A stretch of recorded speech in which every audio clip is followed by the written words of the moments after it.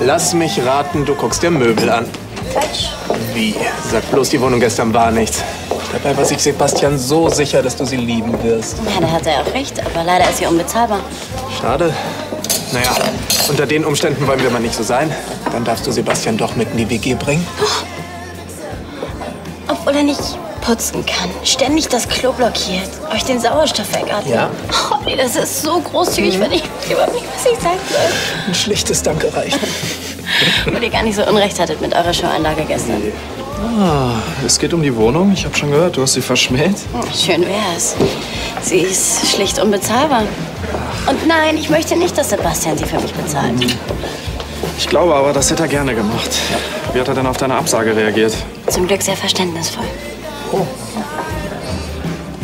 Und tschüss. Wieso tschüss? Ich bin doch gerade erst gekommen. Oh, ich weiß die Mail an die Firma. Ich bin fertig für heute. Das ist super. Ich habe nämlich heute auch frei und ich weiß auch schon, was wir mit dem Tag anfangen können. Ich auch. Judith ist den ganzen Tag auf der Baustelle. Und wenn ich dich übrigens ganz lieb bitte, dann kann ich noch ein paar ungestörte Stunden für uns rausschlagen. Das wird nicht nötig sein. Ein Schlüssel. Dein Schlüssel. Für unsere neue Wohnung.